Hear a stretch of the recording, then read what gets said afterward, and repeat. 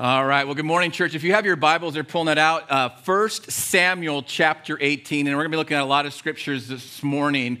And the title of the message is True Friendship. And we're going to be looking at the story of David and Jonathan, one of the great friendships, literally in all of history. It shaped the nation, it shaped really all, all of our lives. This friendship between the most unlikely of people, Jonathan and David. And we're talking about friendship this morning because the vision and mission is to end spiritual loneliness. And that, first of all, starts with our vertical disconnection with God. But secondly, it, God calls us into a deep relationship with Him, but also with one another. A, community, and we're going to talk this morning about friendship, the, the, the possibility, the priority, and the privilege that we have of of cultivating and growing friendship. And more than that, the absolute necessity that we need friends, true friends in this life. We do not get to be, we will not become the people that God wants us to be without true friends. So 1 Samuel chapter 18, pick up with me, and we're going to kind of peruse our way through several uh, chapters. We're just going to highlight a few verses. It's a story that's very long, but we're going to key in on a couple of things. Verse 1 we read this As soon as he had finished speaking to Saul, the soul of Jonathan was knit to the soul of David. And Jonathan loved him as his own soul. And Saul took him that day and would not let him return to his father's house. Then Jonathan made a covenant with David because he loved him as his own soul. And Jonathan stripped himself of the robe that was on him, and he gave it to David and his armor, even his sword and his bow and his belt. And David went out and was successful wherever Saul sent him, so that Saul set him over the men of war. And this was good in the sight of all the people and also in the sight of Saul's servants. Chapter 19, verse 1. And Saul spoke to Jonathan, his son, and to all his servants that they should kill David. But Jonathan, Saul's son, delighted much in David. And Jonathan told David, Saul, my father, seeks to kill you. Therefore, be on your guard in the morning. Stay in a secret place and hide yourself, and I will go out and stand beside my father in the field where you are. And I will speak to my father about you. And if I learn anything, I will tell you. And Jonathan spoke well of David to Saul, his father, and said to him, Let not the king sin against his servant David, because he's not sinned against you, and because his deeds have brought good to you. For he took his life in his hand and he struck down the Philistine, and the Lord worked a great salvation for all Israel. You saw it and rejoiced. Why then will you sin against innocent blood by killing David without cause? And Saul listened to the voice of Jonathan. Saul swore, As the Lord lives, he shall not be put to death. Chapter 20, pick up with me in verse 12. And Jonathan said to David, The Lord, the God of Israel, be witness when I have sounded out my father about this time tomorrow or the third day. Behold, if he is well disposed toward David, shall I not then send and disclose it to you? But should it please my father to do you harm, the Lord do so to Jonathan, and more also, if I do not disclose it to you and send you away that you may go in safety. May the Lord be with you as he was been with my father. If I am still alive, show me the steadfast love of the Lord, that I may not die. And do not cut off your steadfast love from my house forever, when the Lord cuts off every one of the enemies of David from the face of the earth. And Jonathan made a covenant with the house of David, saying, May the Lord take vengeance on David's enemies. And Jonathan made David swear again by his love for him, for he loved him as he loved his own soul. Drop down with me to verse 40, chapter 20. And Jonathan gave his weapons to his boy and he said to him, Go and carry them to the city. And as soon as the boy had gone, David rose from beside the stone heap and fell on his face to the ground and bowed three times. Then they kissed one another and wept with one another, and David weeping the most. Then Jonathan said to David, Go in peace, because we have sworn both of us in the name of the Lord, saying, The Lord shall be between me and you, between my offspring and your offspring forever. And he rose, departed, and Jonathan went into the city. Finally, chapter 23, verse 15. David said that Saul had come out to seek his life. David was in the wilderness of Ziph at Horesh. And Jonathan, Saul's son, rose and went to David at Horesh and strengthened his hand in God. And he said to him, Do not fear, for the hand of Saul my father shall not find you. You shall be king over Israel, and I shall be next to you Saul, my father, also knows this. And the Lord, excuse me, and the two of them made a covenant before the Lord. David remained at Horesh, and Jonathan went home. I wonder if I asked you a question how many friends do you have? How would you come up with that uh, answer to that question? Is it a quantity? Is it quality? Where would you go to, to ascertain that? As you think in your mind about the friends that you really have, think about the quality of friends that you have. I mean, you interact with people all day, every week, every month, every year. Some, you know, in your community, some at work, some in your family, some that you've known for years, some that you've met recently. I, I was just scrolling through Facebook and I realized I'm dating myself as 40 year olds and plus we're still on Facebook. It's this thing, and some of you are laughing, but. And it's funny because Facebook has a way of identifying the people that you connect with, and they call them your friends. And I kind of laughed at that because I, I looked and I had over a thousand something friends. And as I kind of scrolled through the list of my quote friends, some of these people I hadn't seen since high school. Some of these people I have no idea who they are or how they became my friends.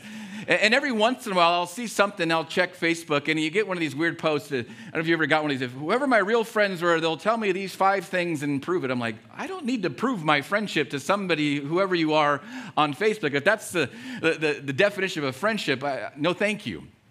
At least some of the other, you know, other accounts, they have followers and people who subscribe to you. But truly, who are your friends? Who are the people that you can count on? The people that give into your life, that speak into your life, that are changing and transforming your life? Who are your people that in the middle of the night, should you be anywhere, you can call and they will be there? Who are your quote, ride or dies? How many true friends do you really have? And the reality is, we, we realize not all friends are created equal. And if we're honest, most of the folks that we interact with in life are, are more acquaintances. They're, they're friends, but they're not the kind of friends that are being used to shape us and change us. The Bible tells us if we are going to make it, if we're going to end spiritual loneliness, first of all, it's vertical, but second, it's horizontal. We, we were made for relationship. And I want to look this morning at, like I said earlier, one of the most important friendships that this world has ever seen. The Bible highlights it. And I read several verses over several chapters. And what do we read? We're, we're reading about the friendship between two unlikely people. And God is highlighting this for us. David, the man after God's own heart. There's more written about David than anybody else in Scripture except for Jesus. And we all aspire, we desire to be like David for the most part. I want to be a man, I want to be a woman after God's own heart. And when you look at his life, there's these big, long narrative arcs that kind of give us a glimpse of what made David David.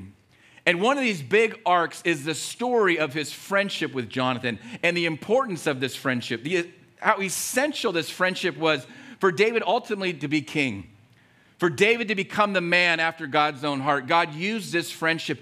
In the same way, we need these kinds of friendships in our lives.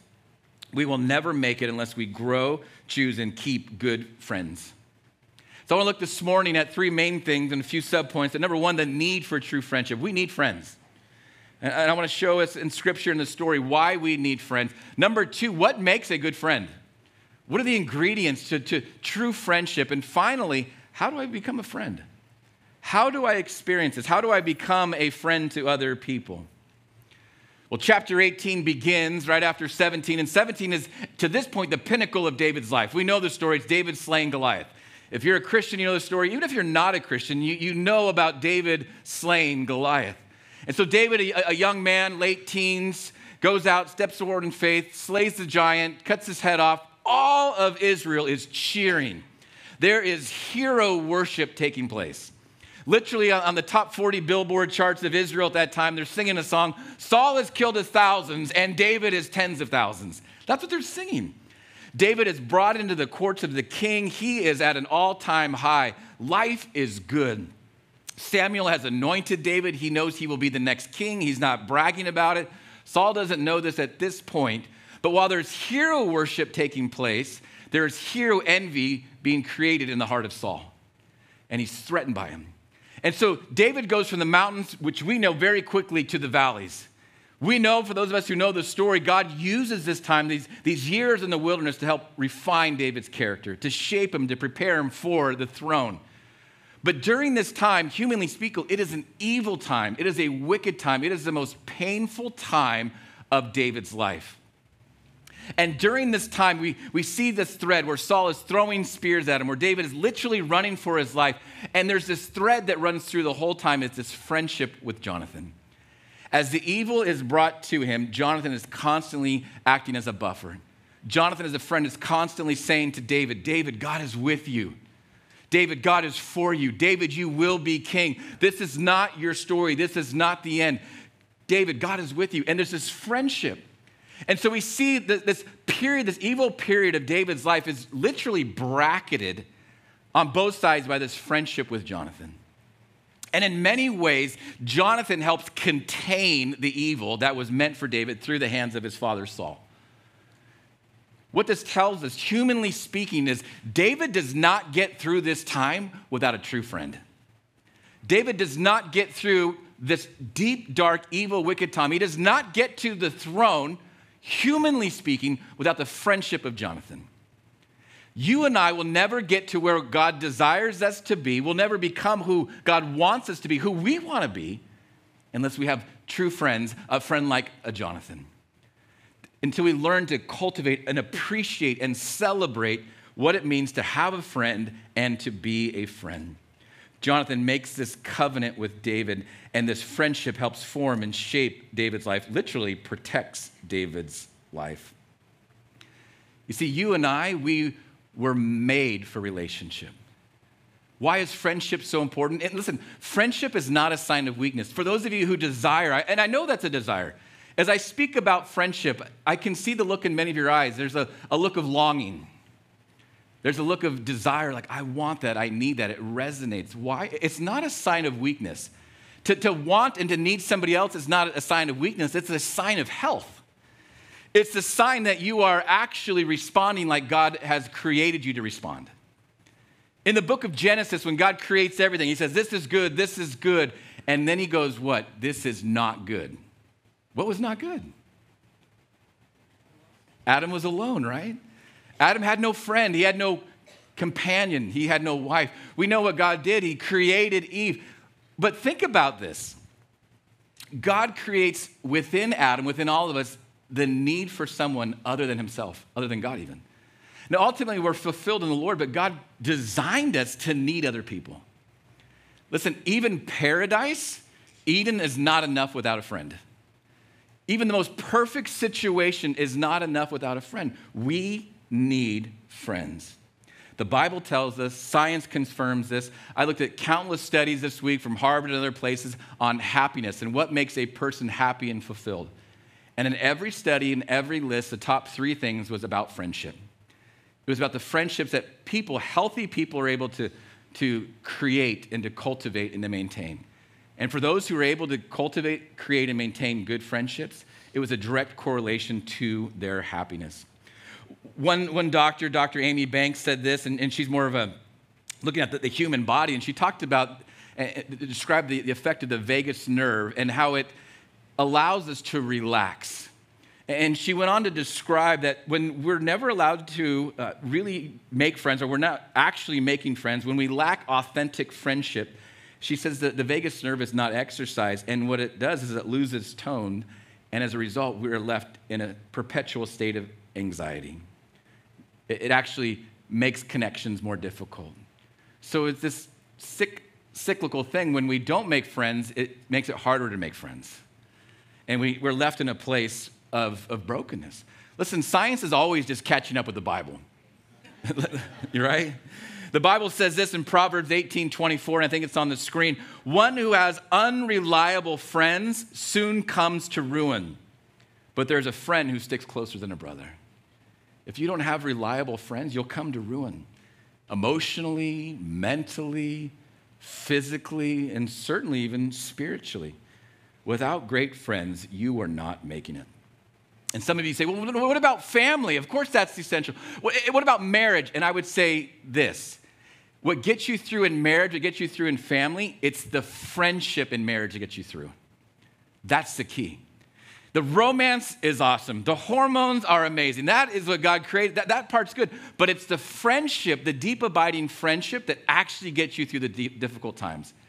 It's the friendship with one another that actually helps form you and shape you, that commits you to one another, that allows you to become who you're supposed to be. Proverbs 17 17 is on the screen. A friend loves at all times and a brother is born for a time of adversity. We need friends. We need a, a, friend like a brother in those times of adversity. And I don't care who you are in this life, at some point you will all have a time of adversity. No one gets through this life without bumps, bruises, scrapes. Eventually we walk with the limp. And God becomes very real and present. But God becomes very real and present in your life, oftentimes through a friend. The Bible talks about when we pass through, quote, deep waters. I think of that song from Kari Jobe, Deep Waters. She describes, and, and I listen to that song, and it's like, oh, she's been through deep waters. And any of you who have ever been through deep waters in your life, and eventually we all will, it's the friends, it's the body of Christ that come alongside, that text you, that call you, that encourage you. And I have some of those friends here today that, that say, God's with you and He's for you in that time of adversity. And so before that time comes, cultivate friends ahead of time so that you have them when that time of adversity is upon you. So I wonder when you think about friends, is there a smile? Is there a gratitude? Is there regret and pain? I do know this, it's a desire with all of our hearts. So, number two, what makes a good friend? What, what, what, are the ingredients? And there's, there's many things, but what are the things that I see in David and Jonathan's life? And I just pulled out a few things. But number one, and you'll see on the screen, true friendship is built on commitment, not convenience. In fact, the word that we see several times as I read it is a word that we don't use a lot, but it says David and Jonathan, they made a covenant with one another. And what this was was a formal kind of a, with a ceremony of words exchanged and oftentimes some actions that were uh, involved, but they were committing themselves, not just emotionally, not just kind of theoretically, but intentionally. Listen, we are committed to one another. Jonathan says, I see God's hand on your life, David. I'm going to stick by you. You will go to the throne. I know that. But think about this Jonathan was the, the, the least likely person that should have been David's friend. Who was next in line for the throne? Jonathan. Jonathan is one of the most amazing characters in all the Bible. In fact, I could have titled this, this message, The Best King That Israel Never Had. Because Jonathan, when you look at his character, he would have been a great king. He would have been amazing. He had faith, he had, he had exploits of faith. He, he loved God. He, he was obviously willing to humble himself here, but he knew God had chosen David, and there was no jealousy, which is an incredible testimony to the kind of character that Jonathan had. But it says they made a covenant with one another. This was not simply convenient because there was nothing convenient about this relationship. But the reality is, most of our lives, they're geared and programmed towards relationships of convenience. And what do I mean by that? The places that you shop, the relationships, you might know some of the people that you frequent often, but it's still a relationship of convenience.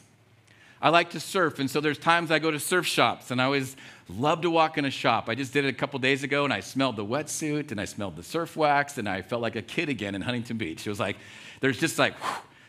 but when I go to buy something, whether it's a wetsuit or a leash or a new board, there's certain places that I frequent, but I know if the shop down the street is running a sale, guess where I'm gonna buy? I'm going to buy the one that's cheaper down the street. I might know Mitch, you know, but I'm not going to Mitch's, or I might know whoever. Like, I'm going to go there because I'm going to save a hundred bucks. And, and the reality is, we all do that. And I know that, you know that, and even the shop owner at the end of the day knows that. He might feel a little bummed and a little disloyal, but he knows he's doing the same thing. The problem is, we treat our friendships the same way. We treat our friendships in the very same way. It's like, once this is no longer convenient, I'm out. Once this is no longer something I'm getting whatever I need out of it, I, am not committed anymore. And so what happens is we start to love things and use people instead of use things and love people. And so the world becomes filled with users, consumers. And our relationships are the same way. A lot of you are really good at networking. Some of you are really good, perhaps, on social media, other places. You have a lot of people that follow you, or you're good at influencing, but that's not friendship. That's not going to get you through. You're good at networking, and what a networking person does is they, they find people because a, a person opens doors to them. Whether it's to land a, a sale, whether it's to open doors for an opportunity, whether it's to get into a new friend group. And so networkers are always looking at you, labeling you, sizing you up because they want to use you. And that can be helpful in business. Listen, we all do that. If you're on LinkedIn, it's kind of the process to try to get a new job, and it's kind of the way the world works, except for when we treat everybody like that. And I don't know if you've ever had the, the, the, feeling at some point you thought you were friends with somebody, you thought there was a real connection, and at the end of the day, oh, they're just using me. Have you ever felt that, you ever had that happen? I remember one time somebody all of a sudden was doing something to me, and I thought this guy was my friend, and I realized, oh, you just read how to you know, win friends and influence people. You were literally going down the book and using my name five times and doing all this. And I was like, dude, this is the most disingenuous thing, such a total turnoff. And yet we're really good at networking, but are we good at making friends? See, a true friend doesn't size you up, label you, and categorize you. As believers, what we want to find out is what makes you unique. What has God called you to do? What are the gifts that you have? What do you bring as to the table as part of the body of Christ? And, and so we all have different layers of friends. As a church, we should be a group of friends, but we're also always going to have an inner circle of friends. Even Jesus, he had a big crowd, he had 12, he had three, and then he had a best friend, John.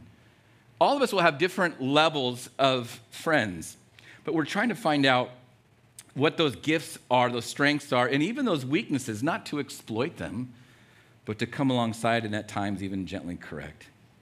The moment Jonathan looks at David, Jonathan subordinates his own desires for the needs of his friend. He sacrifices He's a real friend. He looks at his friend's life and says, God has a plan for his life, and I want to be part of that. And listen, that's what happens in marriage. I remember hearing somebody say this one time, and, and I use it oftentimes when I get to officiate weddings. But when two people come together, you know, when, when husband and wife are making a vow to one another, one of the things that you should be doing, there should be a horizon out there that you're looking towards. But you're also, you fall in love with who the person is, but you also get a glimpse of who that person is becoming what God has planned for that person. And what you're committing to in friendship, in marriage, and any friendship, is you're saying, I want to be a part of what God is doing in your life. And however and to how, how much I can be, I want to be used to help you become the person God wants you to be. And hopefully they're doing the same for you. And here's something beautiful to just kind of wrap your mind around. Because someday, husband and wife, or close friends, all of us, we will stand in the presence of God. And the Bible says at that point we'll be glorified. New bodies, sin is done away with. We will become the men, the women, the sons and daughters that God envisioned us, He envisioned you to be. And you'll be able to stand next to your spouse or your friend and you'll see them in that state, just glorified. And you'll be able to say, I always knew you could look like this. That's what a real friend does. It's like, and is that easy? No. Is it, is it always perfect? No, it's hard. It gets messy at times. But that's why it's, it's a commitment, not convenience. Number two, true friendship is built upon honesty and transparency, or rather, true friends let you in and never let you down. Honesty. You're being honest with one another. You're being intimate with one another. It says David and Jonathan loved each other as their own souls. What does that mean? They got below the surface. They shared their deepest hopes and fears and aspirations, their motives. They were deeply emotional. We read about them embracing, weeping, even kissing. What does that mean? It means it's not like what this world twists and wants it to be. No, it's, it's actually beautiful. Two very strong, godly, warrior, leader men are willing to be vulnerable with one another, to be open with one another. And God highlights this and says, This is, this is beautiful. As iron sharpens iron, so does one man sharpen another.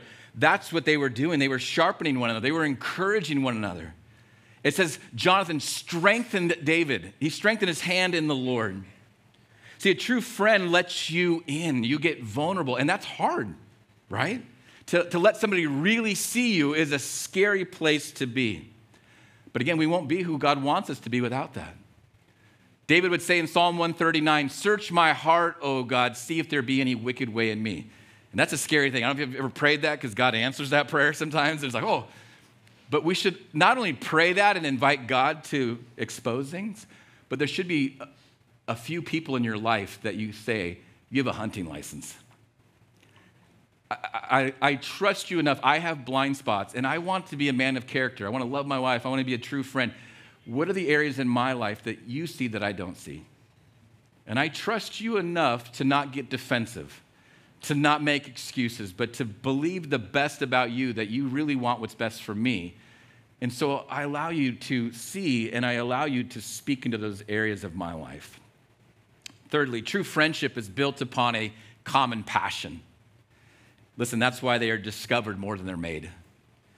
True friendship is really something you discover. What do I mean? C.S. Lewis writes a lot about friendship. He has a book called The Four Loves, and, and he speaks a lot on friendship, and he says this Friendship is born at the moment when one person says to another, What? You too? I thought I was the only one. You see the same thing I see? You love that book too? You love that spot too, or whatever it might be. And to, and to the various degrees of whatever that you too is, it, it binds somebody. That's why we have these affinity groups. There's these things that they, people share a common passion in. Jonathan saw David and he said, You too? The, the crowds were hero worshiping. His dad had hero envy, but Jonathan saw the real hero, which was God. And he saw in David somebody who knew who the real hero was. And he was like, Yeah, you love God, I love God. You really love Israel. Jonathan really loved Israel. And it was two, two things at that moment, two people who were not supposed to be friends, but this thing forged them into this deep friendship, this unity, this passion for the Lord, and this passion for Israel. That's why C.S. Lewis says the paradox is this that friendship can never merely be about itself. That's what he says. That's why those pathetic people who simply, quote, want friends can never find any. The very condition of having friends is we should want something else besides friends, where the truthful answer to the question is, do you see the same truth? The truthful answer would be, I see nothing. I don't care about the truth. I only want a friend. There's nothing the friendship is about. It can go nowhere. Nothing can be shared. Those going nowhere can have no fellow travelers. True friendship, there's a horizon, there's a vision. You're, you're going someplace. With my best friends, my best friend, my wife, we share the same passion. There was in a moment, you too, you love the Lord like I love the Lord. You've been through some of the same waters that I've been through. We get each other. And it's not just about each other. It's not just, you know, it C.S. Lewis lovers face to face, but there's also a shoulder to shoulder. And this is where we're headed. There's a common vision and mission. And so some of you who are dating, you, you better figure out more than just the hormones and more the excitement, where are you guys going? Because six months or a year after the marriage, if you don't have a friendship and you, you don't have a vision of where you're going, you're going to be like, what's this about? It has to be about something else. And as a church, when we are committed to the Lord, when we're committed to this vision and mission, there's a friendship, there's something that binds us, there's this common passion that is moving us forward. I love the, the King James version. I read it earlier. A friend sticks closer to the brother. The King James says, There's a friend who sticketh closer than a brother. Every once in a while, the King James is good to bring out. I don't know about you, but I want some of those friends that sticketh. You know, that they're around when you need them. If you're going to have a friend that sticketh, Jesus better be the thing that make them ticketh. you know? That's got to be the thing. If Jesus is what makes you tick, then your friendship is going to stick. Finally, how do you become a true friend? Because it's selfish. We, excuse me, we are selfish at times. It's hard to like bear one another's burdens. It's hard sometimes when your friend is going through a time of adversity night after night, week after week, just to listen to them as they process, because that processing lets them know they're seen and heard. But it's hard sometimes. It's hard to keep showing up, and it's scary to be vulnerable. How do we become a true friend? And, and I would say this how do you become a true friend? The question isn't, how do I find this friend? Is that that's your driving goal? How do I find this friend? You're, you're not going to find them. It's like the proverbial how do I find Mr. Right? How do I find Mrs. Right? You become Mr. Right, you become Mrs. Right, and then trust God. So the question is how do I become a friend like Jonathan? How, how do I do this? I want to be, I want to have friends like this, but I also want to be a friend like this. Let's look at what Jonathan did, because it's incredible. Jonathan sees David, and Jonathan's quite a few years older than David, but there was something that bound them. It says there, we read in verse 18, Jonathan took off his robe. That's his royal robe. He gives him his sword. He's given his allegiance. He, he's saying, I follow you, I submit to you. He lays aside his crown and he swore an oath to see that his friend thrived. Jonathan was a loyal friend and a son. He continued to talk to his father and plead and intercede on behalf of his friend. His friendship to David cost him. Eventually, it costs him his life. The Bible says, Faithful are the wounds of a friend. Sometimes our friends that wound us to encourage us, but also faithful are, are the wounds of a friend who sometimes take them for us. And when we look at the life of Jonathan, it points me to what Jesus did for us. Because Jesus laid aside his robe. He, Philippians 2, he left heaven. He left those things. He laid aside his crown. Why? Because he calls you friend.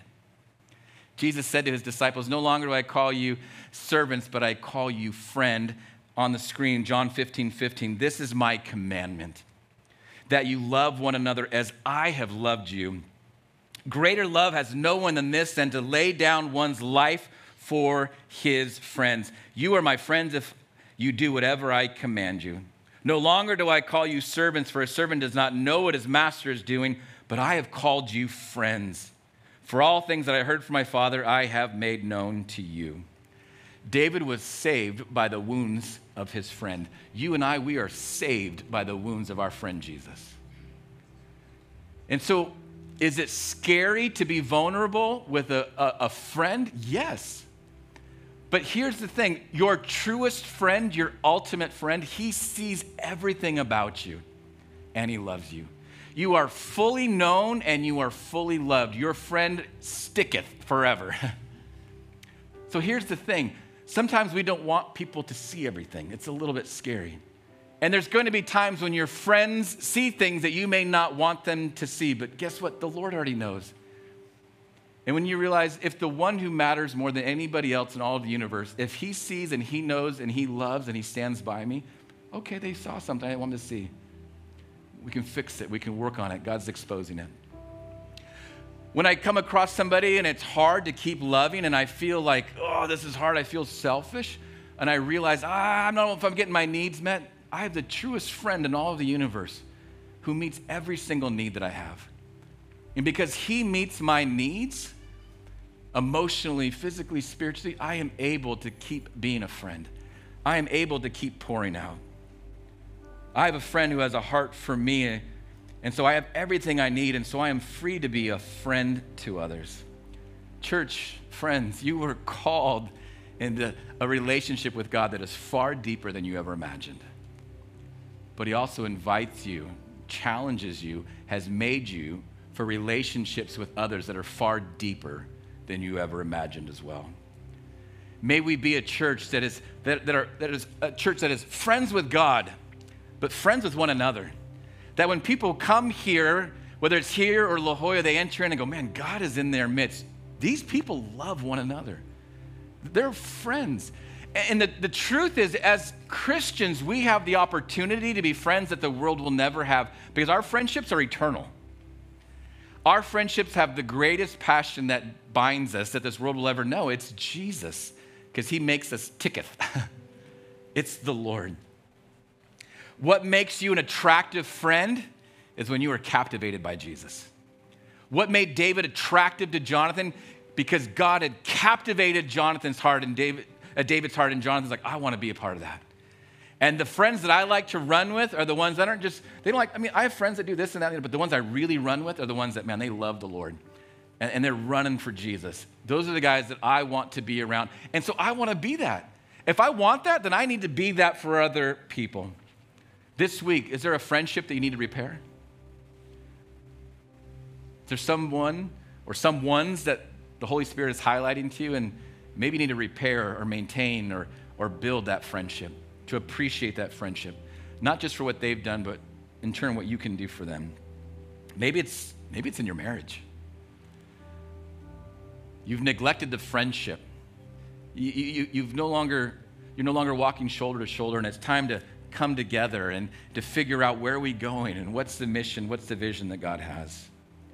Church, Jesus calls you his friend. You are his friend if you open your heart to him. And if you've never done that, today's a day where you can do that. Jesus loves you. You can come find myself one of the pastors afterwards, and we can talk to you about what does it mean to have a relationship with the creator of the universe who wants to be your friend. Father, we thank you so much for this day. I thank you, Lord, that you have spoken to your church. Now give us ears to hear what the Spirit is saying collectively to captivate, but also give us ears to hear what you are saying individually to your sons and daughters. God, may we be friends with you, and may we be friends to those around us. In Jesus' name, amen.